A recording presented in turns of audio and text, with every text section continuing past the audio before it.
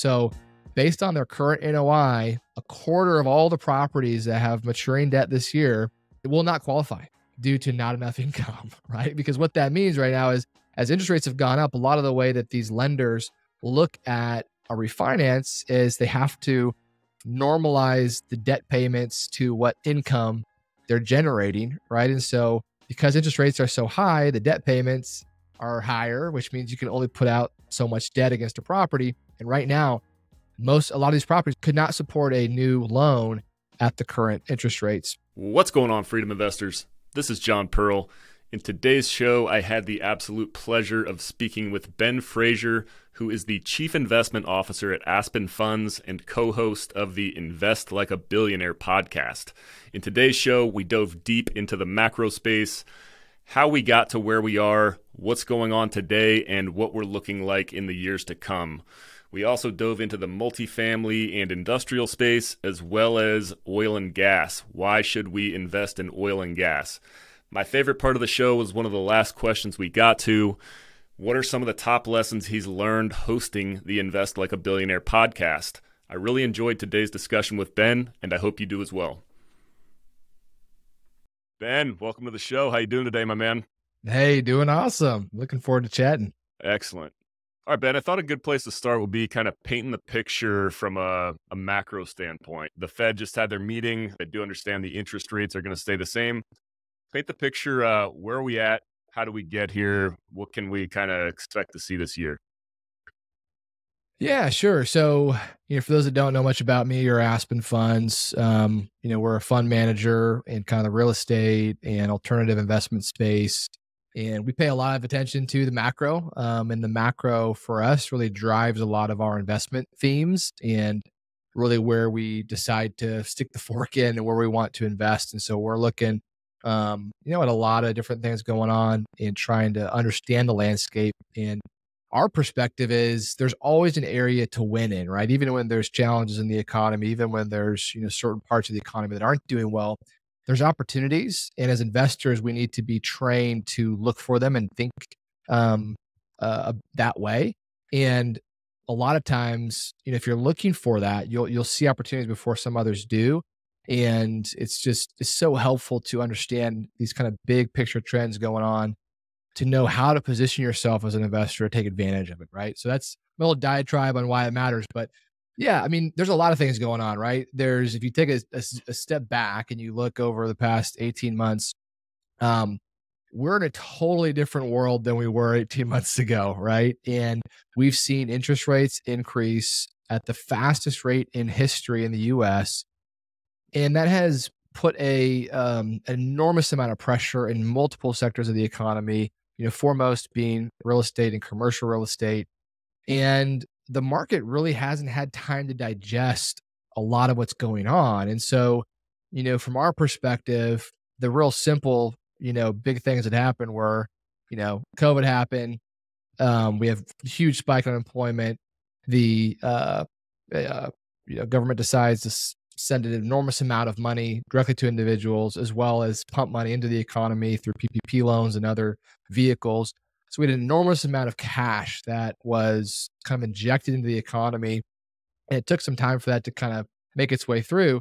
What that's done is cause inflation to kind of hit. And then as a result, the Fed is trying to temper inflation uh, by raising interest rates. And so we're kind of at this point now where we're at um, we're not all time high interest rates, but we're at the highest we've seen in many, many decades. And for those of us that are maybe younger, like you and I, and some of the listeners here, this is new territory. And we don't really know what to expect, what to look for, how is it this kind of, you know, make its you know, trickle effect through the economy. And, you know, the, you know, what we've been saying for a little while on our podcast, and we talk a lot about macro, is we believe inflation is going to be higher for longer. And we were saying that before, you know, that was kind of the the more consensus or uh, thought around it. But what that means likely is that if inflation is higher for longer, interest rates are likely going to be higher for longer. And again, the market is slowly starting to digest that. But I still think the market is still pretty aggressive in the rate cuts they're expecting for this year. I've heard, you know, another senior economist say that he could expect up to like five or six interest rate cuts this year, just in 2024. Um, you know, I'm not, uh, you know, Nostradamus. You know, I have my thoughts. I could be totally wrong, but I think that's still pretty aggressive. And so, as we sit today, we're in this really unique time frame where last year a lot of people were concerned about recession. We've been saying we're not going to see recession because the consumer is very, very strong, still very, very healthy from an amount of cash that they have, real rate wage growth, you know, debt service relative to income is still very low. Uh, we have a very, very strong job market, which um, you know, drives that wage growth and a pretty strong economy. We saw consumer spending, the Q4 numbers just came out uh, as we're talking today, and uh, really, really strong spending, right? And, and so much of the economy, roughly 70% of the GDP, is driven by consumer spending. So a strong consumer means a strong economy. And so we're in this kind of tale of two worlds. There's all these tensions, there's all this stress in the system, but it's still being managed, um, you know, to a certain degree. And so, you know, our perspective is we're going to kind of be in this, what I'll call muddle through economy for probably the next 18 to 24 months, unless something breaks and it gets a little bit worse. But, you know, that that's kind of where we stand right now. Got it. So we've painted the picture a little bit what's going on with the economy. So a couple years ago, a lot of deals were purchased towards the end of 2021, going into 2022. Those deals are struggling now, a lot of them at least, with foreclosures are starting to happen, short term bridge loans with adjustable rates are maturing. But there's so much money on the sidelines. I think a lot of people are expecting a dip. Uh, what do you think? Yeah, yeah. Uh, it's it's going to be pretty wild, I think, honestly. And I think in some ways where we're seeing this kind of tale of two worlds in the broader economy, I think we're going to see a lot of deals that hold strong, and then a lot of stress that you know a lot of big challenges in the multifamily space. And so, you know, we we've been multifamily investors for a while. Um, we only did two deals last year, you know, and that's you know, probably what a lot of people did or did did none. Um, and for us, the real opportunities were finding uh, these assumable loans that had you know agency debt with really low interest rates we could assume, and then complete a business plan um, with the really nice fixed rate low debt. Um, but those are very hard to to find, and you're going to pay a premium for them, right? So it's not always worth it. But at a larger scale, what we're really kind of seeing, and we're actually kind of shifting our approach this year. Um, I'll explain that in a minute. But where I think, you know, the, the, the big picture is if you look at some of the data, we have um, several factors that are putting a lot of stress on multifamily um, properties and operators right now. One is, you know, uh, the kind of post COVID era, right out the gate, we had amazing rental growth, right? We had a ton of rental demand. So we're seeing top line revenue uh, just grow in numbers we hadn't seen in a long, long time. In some markets, double digit rent growth, right? Which is kind of unheard of in, in rental real estate. And so it created a lot of demand, a lot of investors trying to jump in. And that is kind of flipped pretty hard, right? We're not seeing the same level of rent growth. In fact, most markets are seeing, you know, either same level rents or lower rents, rent deceleration. So we're having top line revenue going down. Meanwhile, you know insurance costs are a lagging you know uh, indicator of you know the the top line growth and so we're seeing insurance costs massively rise we're also seeing property taxes you know come in you know with big reassessments as values have gone up we're seeing just labor in general so we're seeing all these operating costs continue to increase right so you have uh, lower revenue, higher expenses. So that means lower NOI. And then to the extent that you had floating rate debt, your interest carry is uh, your interest carry cost, meaning just the amount of uh, interest you got to pay to service your debt if it was floating rate is is gone up uh, massively. And so you have these three factors that are putting a ton of pressure all in the wrong direction on these properties.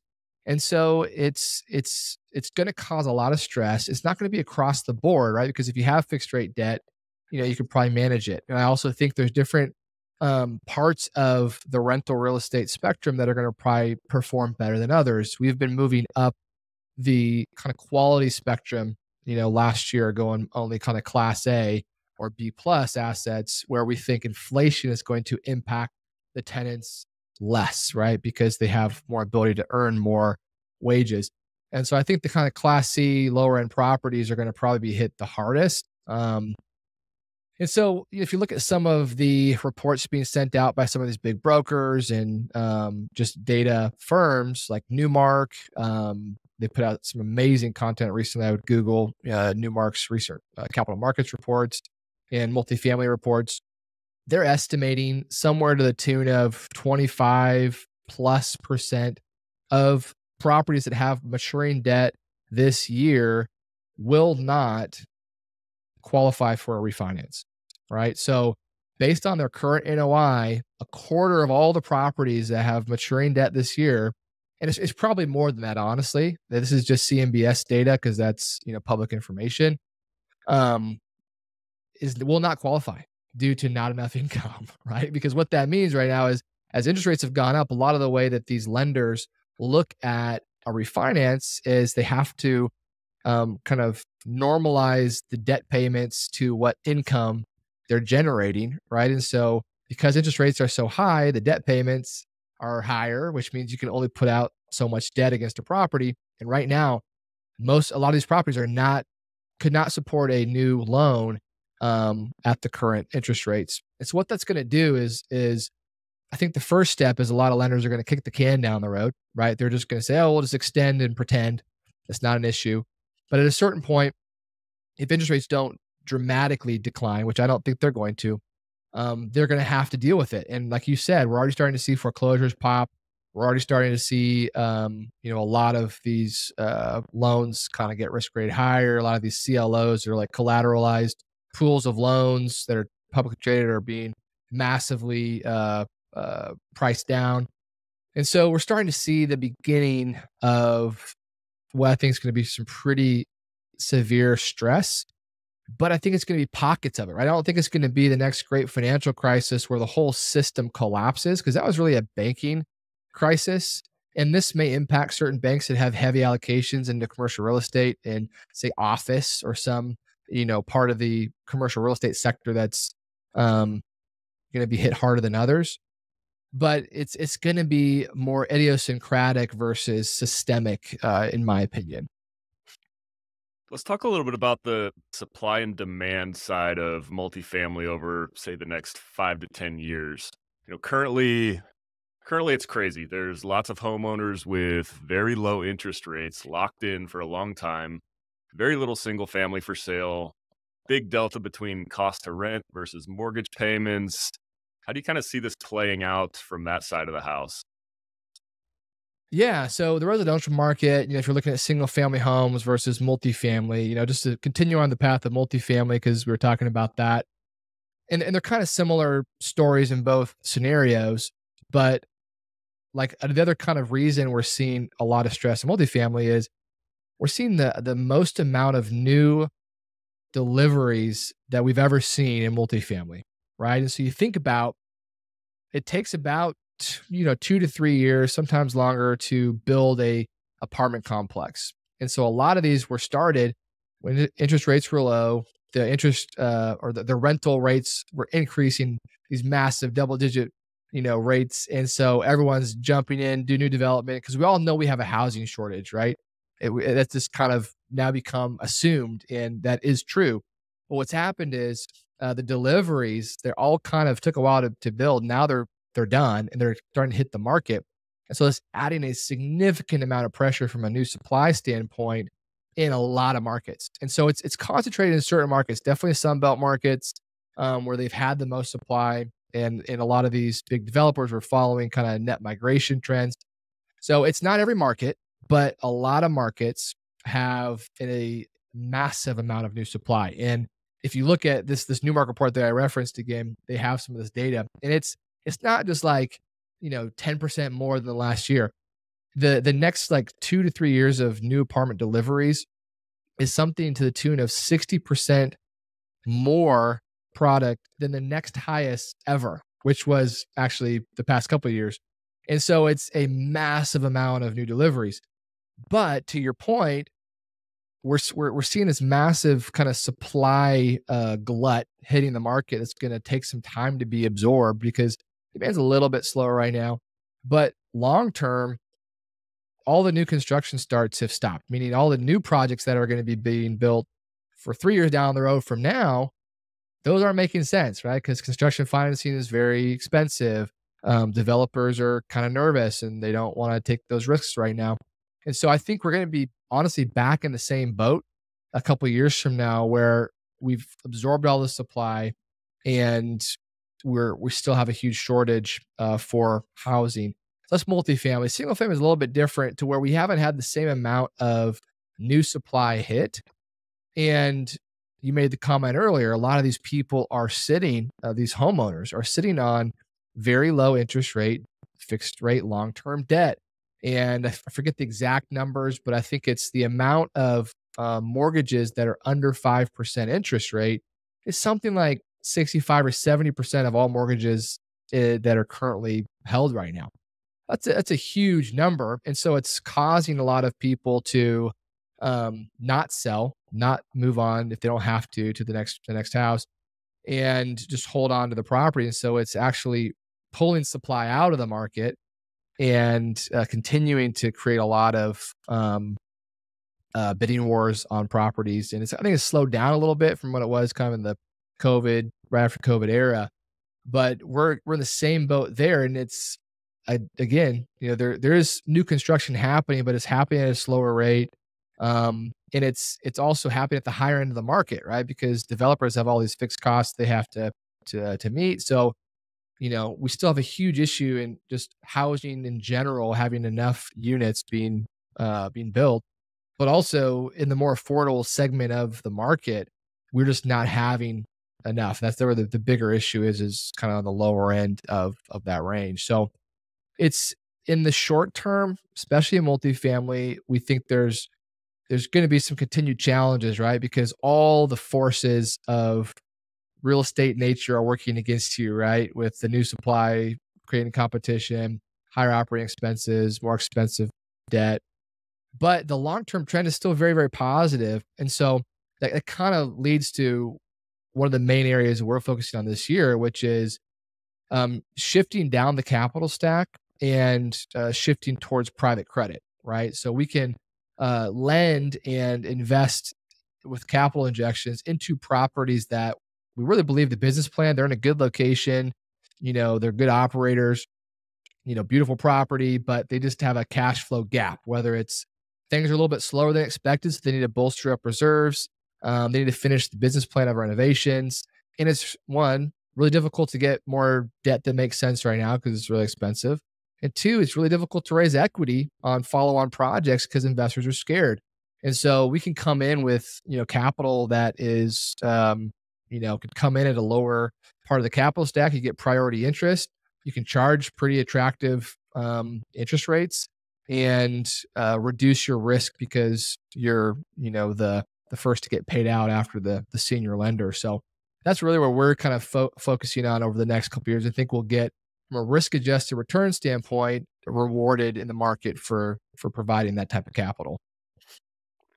Let's talk a little bit about recourse versus non-recourse debt. I've heard you talk about you guys have uh, some recourse debt. A lot of the stuff I've heard over the past few years, you always want to be non-recourse.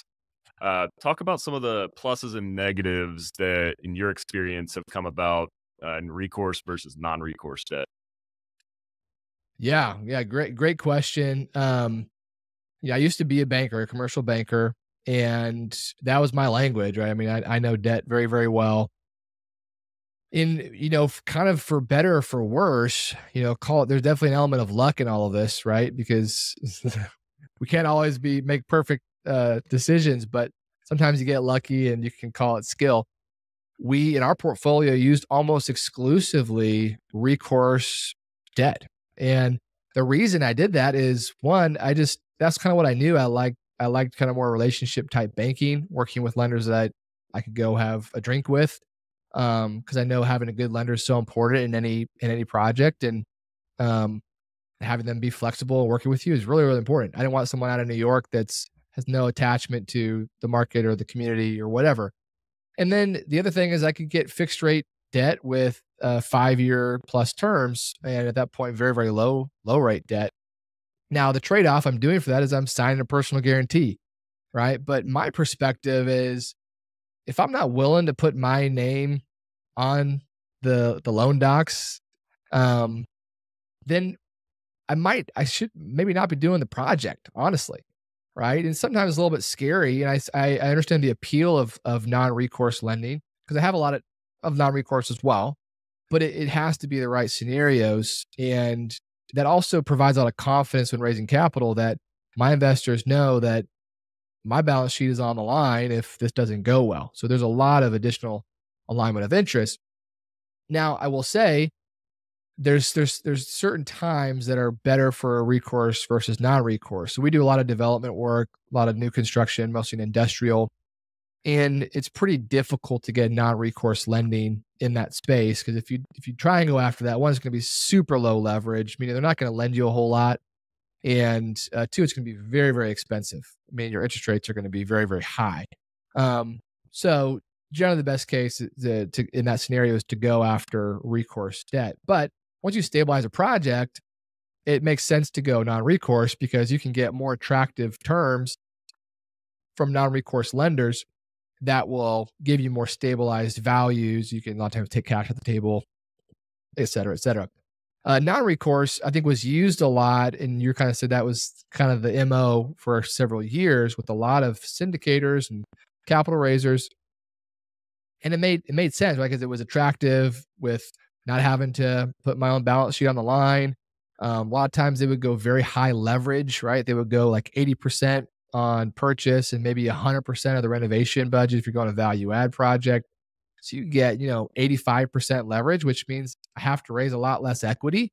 That can be pretty attractive, especially if I'm a new syndicator trying to trying to raise more equity. And the only real trade-off when you were doing that was, you know, one, you have maybe a little higher fees, but um, you know, you generally had a uh, floating rate interest rate right? And you could maybe could potentially have bought a, a swap or some type of fixed rate product, but that was pretty uncommon. And at that point, most people didn't think interest rates were going to go up, you know, 500 basis points in the course of a year. And and uh, so that that's one of those black swan things that you just you know chalk up to uh, being unlucky if you if you chose that. But it's also I think structurally creates more risk when one you're that highly leveraged and you don't have any interest rate uh, hedging in place, right? I think it's always good to have hedging on that. Um, and then the other kind of piece of it too is shorter maturities. So a lot of these times these are three year maturities, and they'll have extensions, but those are expensive and um, no guarantees that they're going to extend anyway. So there's just extra risks going uh, into a non-recourse deal um, with kind of a bridge lender. So these are non-bank lenders. Now there is non-recourse agency debt, and so we do we have a lot of non-recourse agency debt, uh, both that we've assumed and then that we've kind of refinanced into, and that's a much more conservative structure generally because these are these are governed by your debt service coverage in place right now. So you can't go get a loan on a pro, on a projection, which you can do in bridge debt, where if you're going to go do a value add, you know, here's my pro forma that I think I can hit, and they're lending against that the agencies are going to lend against actual, it's called in place cash flow. In place meaning I can prove it historically. That's what I've actually generated, not what I expect to generate. So it's usually lower leverage. Um, and a lot of times you can do a fixed rate product and it's non recourse. So there's kind of, those are the three big buckets I would say of debt. You have your traditional bank debt, um, you have your non-bank bridge lenders, and you have you know agency type lenders. And you have like life insurance companies and others that are somewhat similar to more the agency route, but th- that's kind of the pros and cons of both sides. Excellent. Let's pivot and talk about some other asset classes. Tell us about kind of the the big picture of industrial right now in this current environment and maybe some of the differences between industrial and multifamily. Yeah, so industrials you know similar in a lot of ways and different in a lot of ways. Um, it's you know the, the big drivers of industrial are a growing economy and a lot of times a growing um, service based and or manufacturing economy. And so you know with multifamily it's the housing is the driver. People need houses and places to live. That's driving demand for multifamily. For industrial it's a different set of drivers. And so what has driven industrial being such a great asset class for the past several decades largely has been e-commerce, right? So the e-commerce boom, the Amazon, you know, taking over every industry and creating these big distribution warehouses um, has driven a lot of growth in industrial as that has become kind of a big core part of our economy. Well, you know, that's starting to plateau. The e-commerce penetration rate, which is kind of the percent of e-commerce relative to total retail sales, has slowed down.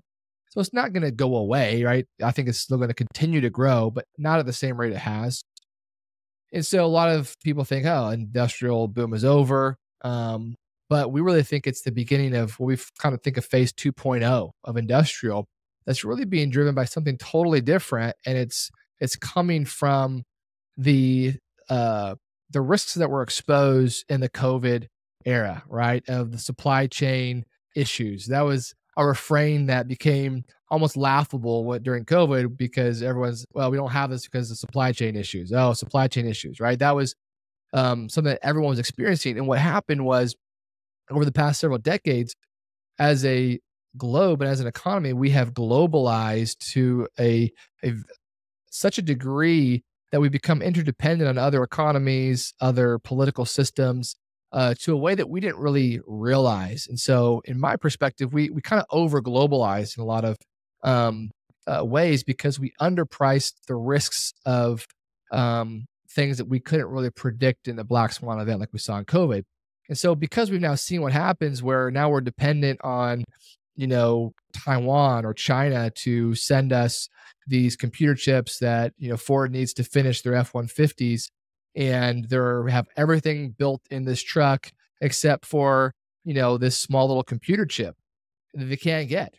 And at one point, they had billions of dollars of inventory sitting in, on lots that they could not sell because they didn't have this one little piece of a critical component. And that's one case across the board that happened everywhere. And so what's happening is a lot of these companies are deciding to bring a lot of manufacturing um, of different parts of the supply chain back to the U.S. Um, for a whole host of reasons outside of just just COVID. But you know, it's actually pretty competitive relative to China and other markets um, to bring back certain manufacturing back to the U.S. and then also reshoring of inventory. So you know, a lot of companies are deciding that we should have more inventory in stock versus just in time inventory, which was kind of the you know the globalized globalized version of have it ready right when you need it. Um, but if you can't get it when you need it, then it doesn't help. So having certain critical components like these computer chips in a in a place that you have more control over in the supply chain. So that, that's driving a lot of of new demand here. Uh, we're seeing it kind of across the board in certain markets, and uh, so we're very very bullish on industrial. Um, at a kind of supply and demand level, you know, it has a similar story to um, uh, multifamily in that there is a lot of supply that's hitting the market. So we're seeing a, a slight tick up in in vacancy, but a slight tick up is like ticking up to like four or five percent across the board from like two to three percent. So it's not huge. And the thing about industrial is it's a much shorter time frame to develop. So it takes about you know nine to twelve months to to build uh, you know warehouse, and so we're seeing that um, that cycle happen a lot faster. So we expect the absorption to to happen a lot faster, and um, then we're kind of back in a similar deal where we have a supply shortage of uh, of need for for more industrial projects. Let's talk about energy now. So as mentioned prior to hitting record, I work at a nuclear power plant. California had their initiative to reach a uh, renewable energy goal by 2030, realized they weren't going to reach that, and decided to keep the nuclear power plant open, clean energy. I think that's generally a good indicator of the, the, the U.S. as a whole. We have these goals, maybe not super realistic. Uh, there's also a lot of uh, turmoil globally. We've got the the Red Sea crisis right now. We've got this uh, this conflict in Israel. Iranian proxies causing havoc with the shipping lanes. Tell us a little bit about investing in oil, why you like it right now, and uh, just kind of paint the picture. Yeah, you know, it's a it's a very different asset class for investors that may have not invested in it before because it's just it's it's different than real estate, right? And So there's things you got to understand about investing in it. There's a lot of different ways to invest in oil and gas. And so I'm not to get into all of that because that's a that's a whole other long conversation. But at a high level, you know, if we're talking macro again, why is it interesting? And, and why we've been paying attention to this for a while. And it's really driven our, our thesis for why we're investing in this asset class. The the real like simple answer is we just don't have enough fossil fuels um, that we are producing as a globe that we need to meet demand over the long term. That that's just as simple as it is, and it's being driven by a few things. One, as you mentioned, we have all these ESG standards that are kind of being pushed from the top down on the you know political side of things to to meet certain criteria for renewable energy. Well, I'm all for renewable energy. I I think we need to continue to make big strides in those areas because it's it's very important. But the challenge is the uh, the standards and the timeframes that have been set for us are completely unrealistic. We, we, we don't have it, it doesn't produce the the level of energy need anywhere close to what we need and it's not going to in the next couple of decades. Uh, we don't have the ability to produce enough technology. We don't. We literally don't mine enough uh, minerals to actually hit the standards that they need to hit. And meanwhile, in the U.S., we're not permitting any more mines to go mine more lithium or other you know uh, types of uh, minerals that we need to produce battery technology and other types of renewable technology. And so there's this kind of big mismatch of stated goals and an actual path to get there. And so, by most measurements, by most third party agencies, even if they're very politically left leaning and are very promote, very much promoting the renewable energy, they're even saying that, you know, we're going to probably still need a lot of fossil fuels over the next decade or two.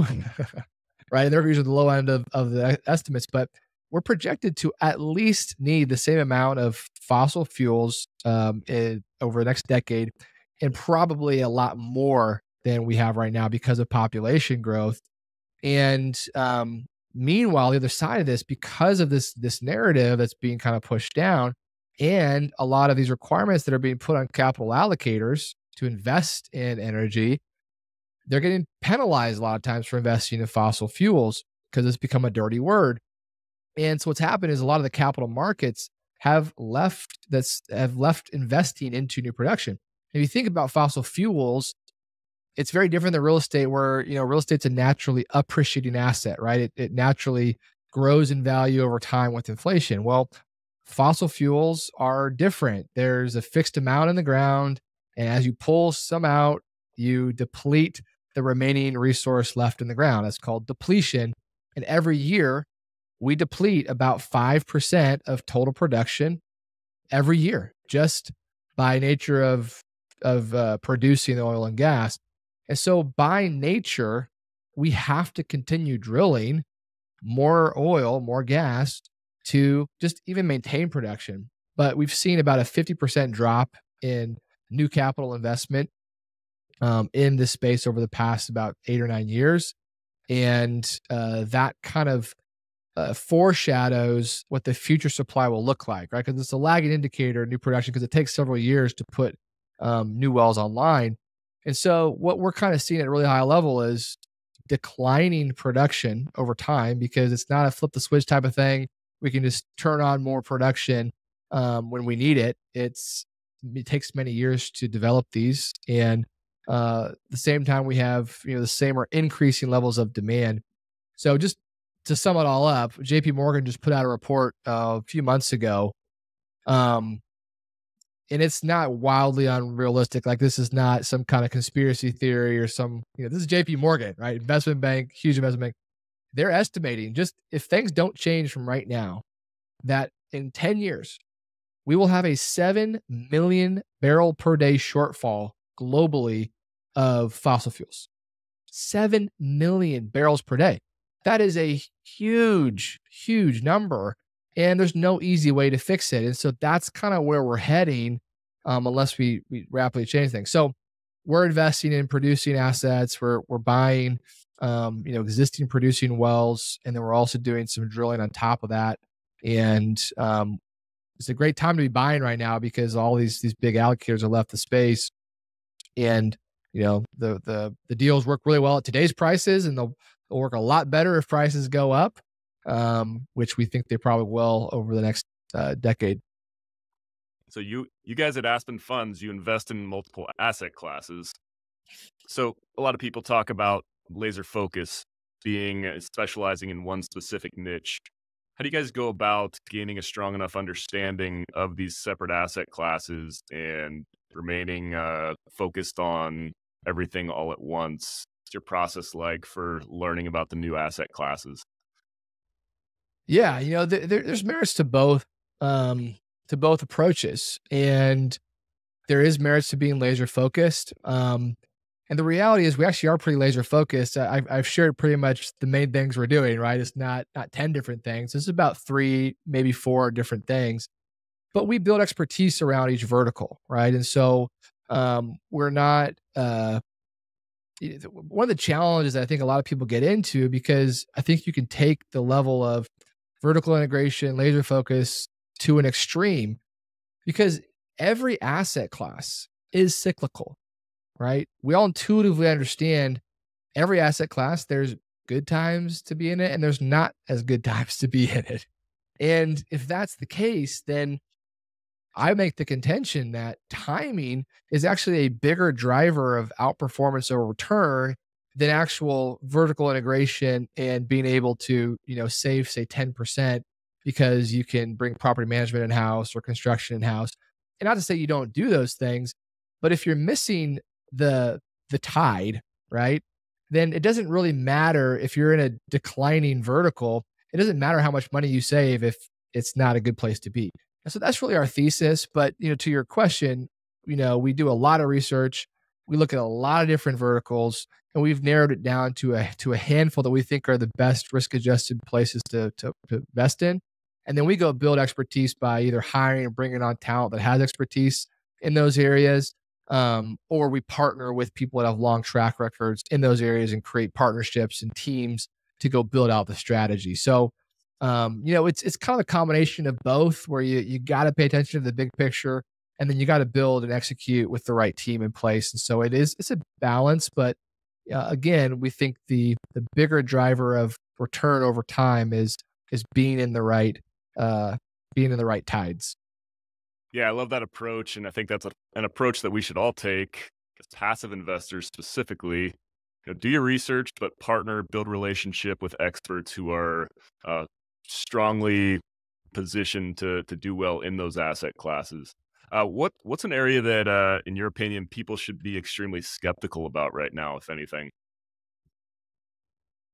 Oh man, um, Well, there's, there's a lot of things I think, and it here's here's my approach is if you don't understand it, you absolutely should not be investing. It doesn't necessarily mean it's a Ponzi scheme or it's not a good deal, but you need to stick to things that you understand that you can explain to like a fifth grader, right? And and it's I think a simple idi- uh, idiom, but I think Warren Buffett is one that said, invest in what you know, right? And I think it's as simple as that sometimes. Where I see a lot of people they go and chase shiny objects because oh i heard about this guy's investing in this thing and you know they're going to make these crazy returns.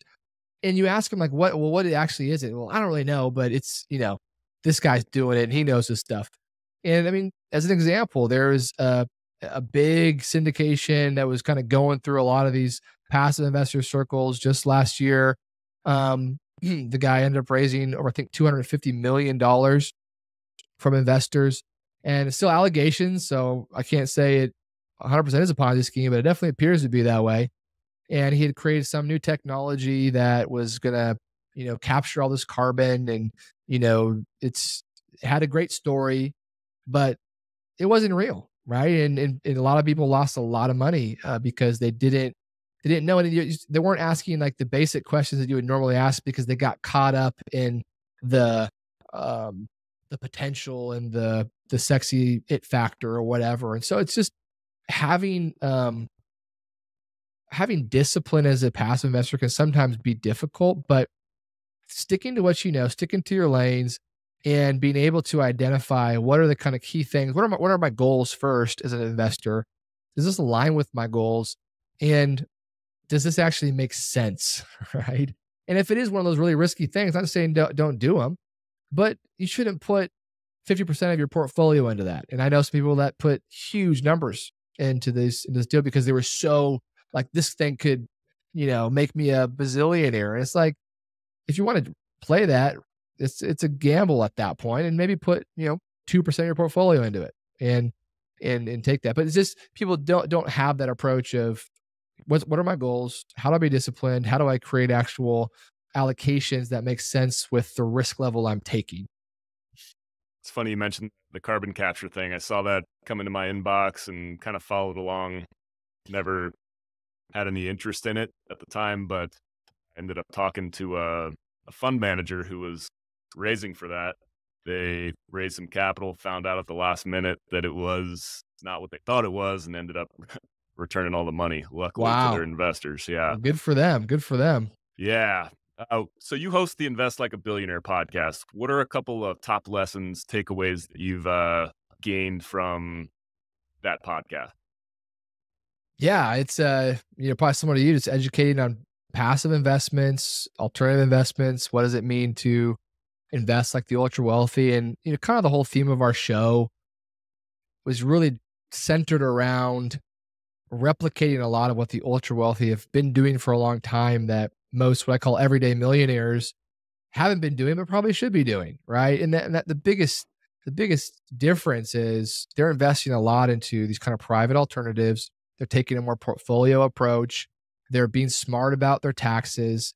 They're looking for ways to continue to build legacy wealth and think super long term, right? They're thinking not just, um, like you said, that two to five year period. They're thinking a 10 year period, a 20 year period, a 200 year period, right? How do I make this grow and sustain for hundreds of years? Like that's, that's a whole mindset shift that I'm still processing, right? Then how do you think that way? And so they, they think long term, they think differently. They don't follow the herd and um, they educate themselves, right? And I think to me, it's so important to make sure you do the education before you write that check. And you don't have to be an expert and know how to do it yourself, but you need to know enough to understand what is the deal you're investing in, what are the key risks, how have those been mitigated, and you know take measured uh, bets. Tell us a little bit more about Aspen Funds and where people can go to learn more information, potentially interested in participating in uh, some deals with you guys. Yeah, yeah, you can check out the podcast. That's a great way to engage, uh, thebillionairepodcast.com, or you can check out our private equity fund uh, website, aspenfunds.us. Excellent. All right, ladies and gentlemen, Ben Fraser, thanks so much for joining us today. Thanks, John. It was fun.